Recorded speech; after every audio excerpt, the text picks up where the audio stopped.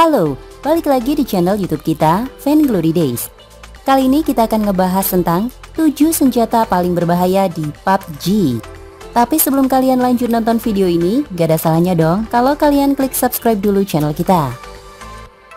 Terima kasih buat kalian yang udah ngelain waktunya untuk nonton dan klik subscribe channel ini. Buat kalian para gamers mungkin sudah tidak asing lagi dengan game Battle Royale PUBG.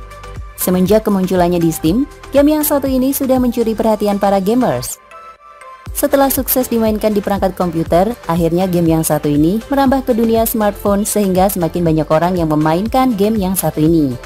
Untuk bisa bertahan hidup di dalam game ini, senjata terbaik sangat dibutuhkan di dalam game yang satu ini. Oleh karena itu, kami dari Fan Glory Days akan membahas tentang 7 senjata paling berbahaya di PUBG. Untuk lebih lengkapnya, silakan simak video ini sampai habis.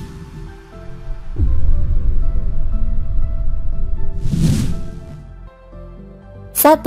Kar 98K Kar 98K atau Karabiner 98 Kurs ini juga menjadi primadona, khususnya pada tipe senjata jarak jauh untuk dapat menghabisi musuh seketika. Kar 98K memiliki damage yang terbilang lumayan dan jarak serangan jauh. Ditambah lagi dengan tingkat recoil rendah dan penggunaan yang terbilang mudah. Senjata ini akan sangat ampuh jika dikombinasikan dengan scope yang sesuai.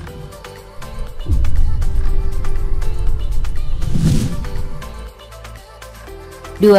M416 Senjata M416 ini merupakan senjata tembak jarak jauh menengah yang mempunyai tingkat recoil rendah.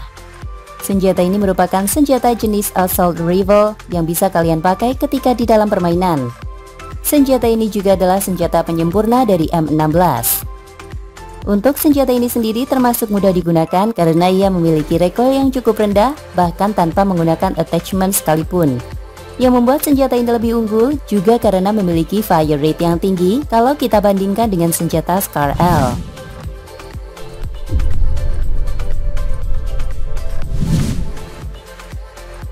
Tiga, AKM Senjata AKM ini merupakan versi baru dari senjata AK-47 yang mana senjata ini menawarkan damage power yang lebih besar serta stabilitas lebih baik jika dibandingkan dengan versi sebelumnya yaitu AK-47. Senjata ini juga biasa identik dengan grup teroris, karena memang kebanyakan teroris yang sering terlihat di TV menggunakan senjata AKM ini. Senjata AKM ini menggunakan amunisi 7,62 mm kaliber.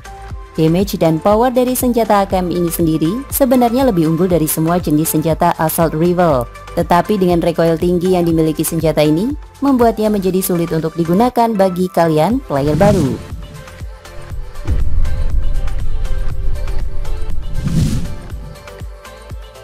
4. Senjata SKS SKS bisa menjadi sniper rifle PUBG Mobile yang direkomendasikan. Walaupun damage nggak seberapa, SKS memiliki speed, power, serta slot magazine yang lebih unggul. Namun, kamu juga harus memiliki scope terbaik untuk meningkatkan akurasi.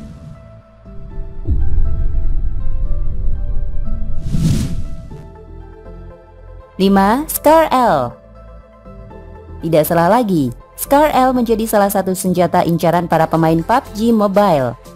Senjata assault rifle terbaik PUBG Mobile ini juga dapat dikatakan memiliki karakteristik yang hampir mirip dengan M16A4 loh. Selain itu, Scar L terbilang juga memiliki damage yang tergolong besar, apalagi didukung dengan tingkat akurasi dan minim recoil.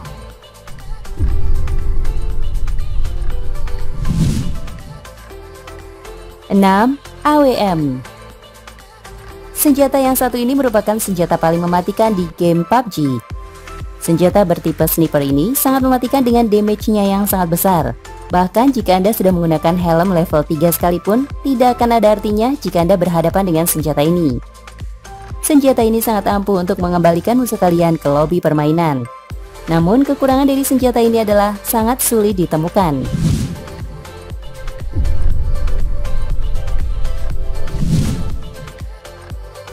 7. UMP-9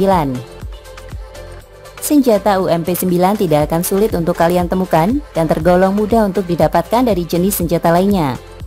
UMP-9 ini menggunakan amunisi jenis 9 mm.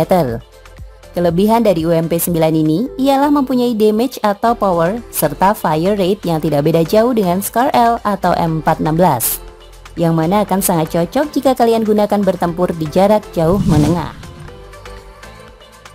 Berikut 7 senjata paling berbahaya di PUBG. Terima kasih sudah berkunjung ke channel kami. Jangan lupa untuk klik like, share, dan subscribe